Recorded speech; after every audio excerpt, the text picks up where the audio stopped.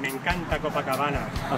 Esta luz, estas palmeras, estos tranquilos, estas chiquitas que están aquí jugando a las palas.